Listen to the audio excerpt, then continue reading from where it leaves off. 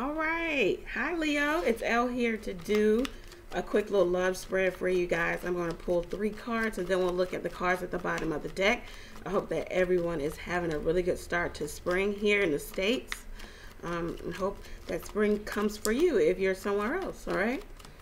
You know what I want to do? Can y'all start commenting in the in the comment section where you're from and where you're viewing from? Because I want to do like a meet and greet. I'm here in the States or whatever, but I'll be traveling for the spring and summer uh, season. So I'll be in different states and I'll also be out of the country a little bit.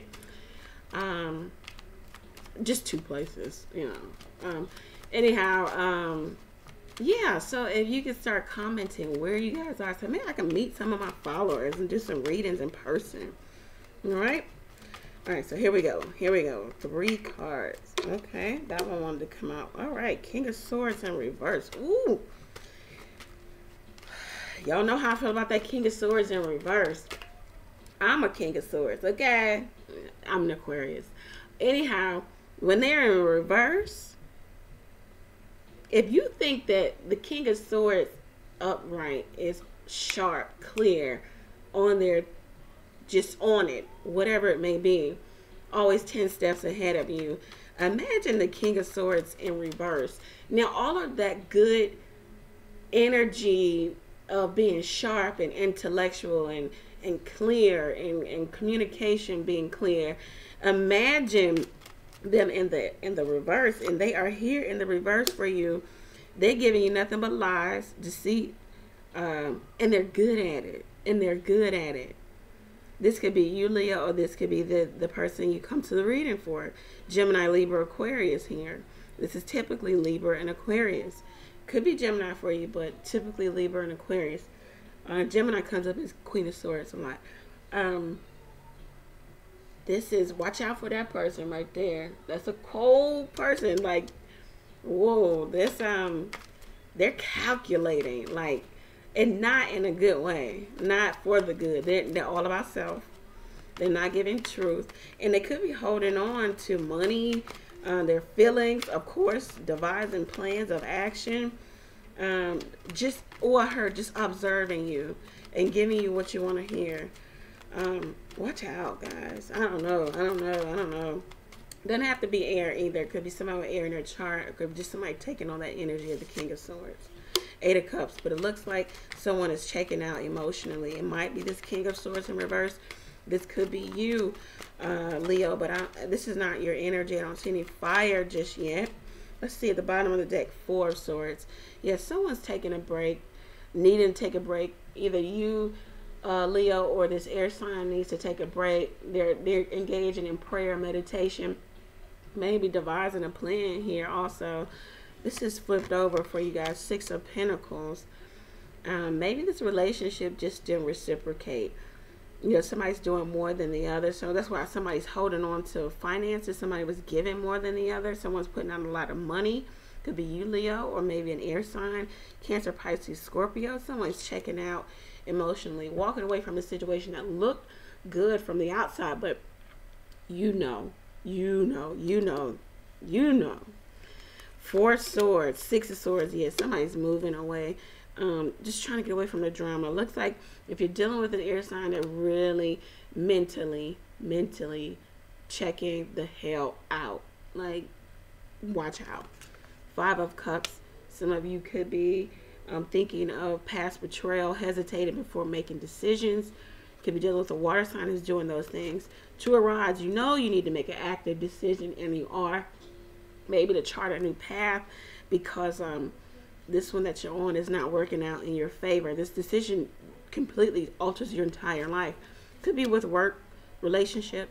Five of rods, there might be some indecision within yourself. Knight of cups here and there could also be competition uh, arguments with other people also somebody's wanting to partner with you offer their cup of emotion wanting to you know say hey look i want to invest emotionally i like you nine of rods but you may be saying i don't know i've been through a lot with the nine of rods and then the knight of rods you may say okay well come on let's go ahead and do it even though there's emotional conflict here and someone could be just creating outright illusions for you with the seven of Cups, but they may have something really solid to offer you with the Ace of Pentacles. Going to be in work or love. And the world is here saying that a chapter has ended. Let it end. A new chapter is beginning for you. Knight of Pentacles. Nice. Someone's, uh, the new start, the foundational new start is being given to you by the heavens. And now here's the offer. Maybe from the Capricorn, Virgo, Taurus, someone's wanting to offer to you, maybe the Nine of Pentacles type of person, a man or woman in waiting, has done a lot for themselves, is waiting for the Ten of Pentacles, the opportunity to partner. You're engaging in healing, restoration, gaining clarity about situations, or you could be dealing with an Aquarius. You want to partner with them, or maybe you're in a third party situation with them. You want to start something new, solid with them. It's still very new with the Page of Pentacles here. You want that Two of Cups relationship, that successful, loving relationship. But you might have to leave something behind to get that. The Three of Rods, Queen of Pentacles. Um, might have to leave a Queen of Pentacles behind, Capricorn, Virgo, Taurus, or you might just need to make a solid decision around your money, your finances, or your home. This is a really good businesswoman, businessman, make solid decisions. You're going to have to stay in your ground, uh, maybe with a Capricorn. Um, have the strength to, to tame this beast. Don't go back into that maybe third party situation. Maybe with a uh, your intuition needs to be heightened here with the Queen of Cups. I'm hearing. If not, you need to maintain yourself and tame yourself, Leo.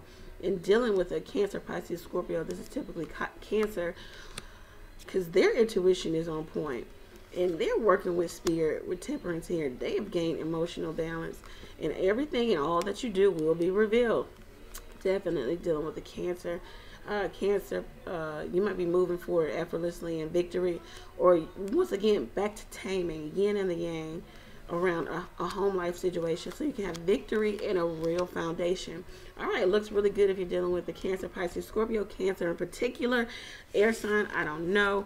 Request a personal reading so I can pull your own energy um, so we can get some clarity and we can know how to move forward in the near future. All right, so Leo, if this resonated with you, please like, share, comment, subscribe to the channel. Uh, follow me on Instagram, InstantGo. There's so much uh, below in the description box. Uh, choose to fund the page by clicking the GoFundMe link. Any donation is much appreciated. Again, Leo, uh, when in doubt, pray. I'm praying for you. Pray for me as well. All right. So I'll see you in the mid-April readings. Take care, guys.